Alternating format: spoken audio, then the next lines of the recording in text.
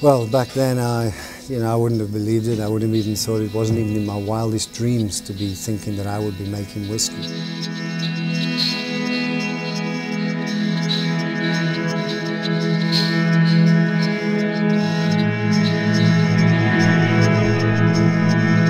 In 1982, I was actually supposed to go to Zimbabwe, and two weeks before uh, I was due to leave the UK, uh, they cancelled my contract. And one of my teammates was Peter Kirsten, so I asked Kersey if he could help me get a late change to my program.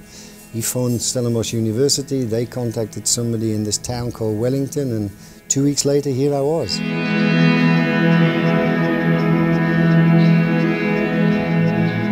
It was uh, mainly coaching in the beginning, and then I got the opportunity to play for Boland.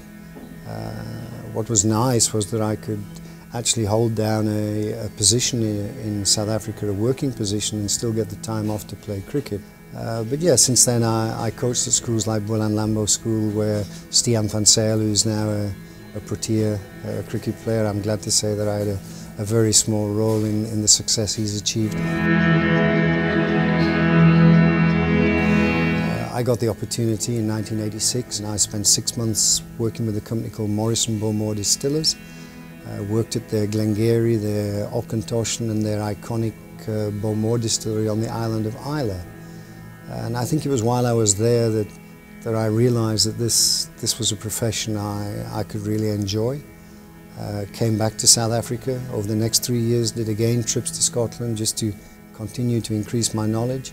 And in 1990, the company approached me and said, listen, would I be interested in changing the, or transferring our small whisky operation in Stellenbosch to the James Sedgwick Distillery at Wellington, where we still are, and where I'm now into my 25th year, and only the sixth manager of that distillery since 1886.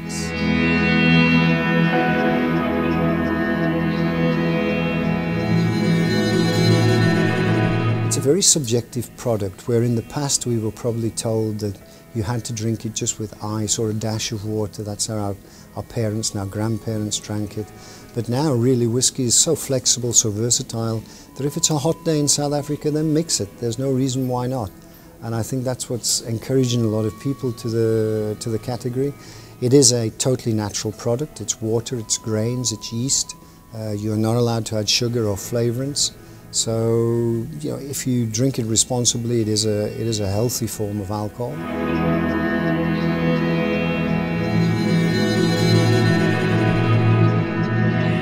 Released South Africa's first single malt whisky back in 2003. That was a major uh, move in, in, in, our country. I mean, we were seen as, as almost imitation Scotch uh, producers at that stage.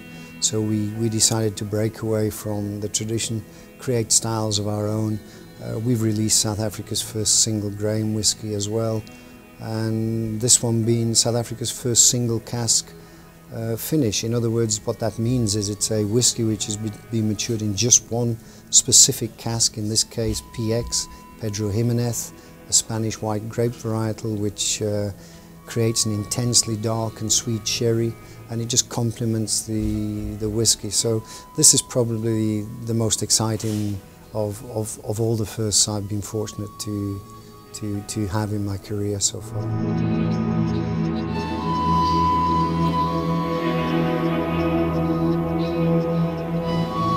Think South Africa at the moment is the sixth largest consumer of whisky in the world, uh, which is, you know, I don't know whether we should shout about that or be a bit, a bit worried, but, but it's pretty impressive.